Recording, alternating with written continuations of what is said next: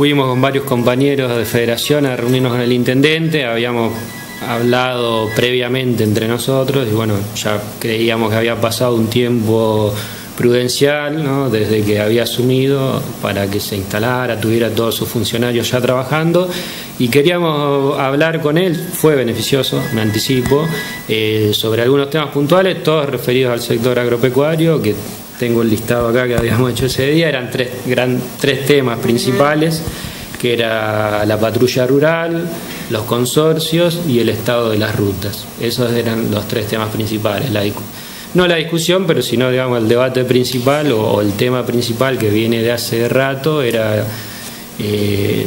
si bien yo dije los consorcios, era el estado de los caminos rurales que están muy deteriorados, en parte porque hemos tenido grandes lluvias que fueron perjudiciales, no en los últimos meses, pero también porque fueron abandonados los caminos. Eh, y bueno, entonces queríamos ver cuál era la situación, qué se había hecho en este mes sabíamos en parte que se había hecho, que se había estado trabajando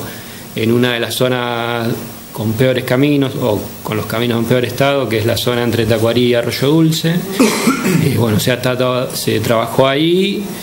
eh, no se ha hecho un gran avance, pero también hay que contemplar que solamente son dos máquinas o en el último tiempo una sola máquina grande la que está trabajando ahí porque muchas herramientas se encontraron rotas. Y, bueno, nosotros sabemos cuáles son las dificultades, pero queríamos también ver eh, qué objetivos tenía el municipio, cuál, cuál era el planteo de, bueno, a ver, a dónde le van a dar prioridad. Eh, después, afuera de la reunión, hablamos con Propato, que es el encargado, si bien personalmente muchos ya habíamos hablado con él.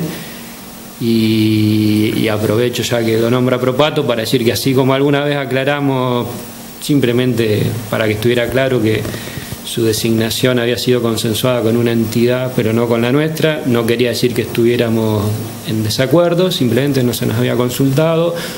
Casi todos lo conocemos a él, tenemos confianza en él, sabemos que conoce, que se dedica mucho, esperemos que el personal le responda, que el intendente lo apoya, que le den las máquinas que necesita, que se hagan las reparaciones necesarias,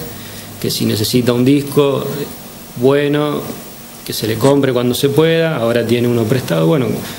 queremos tratar de ayudar, pero también así como elogiamos algunas cosas que se han hecho ahora, cuando sea necesario o nos parezca que se ha hecho algo mal, también lo vamos a plantear.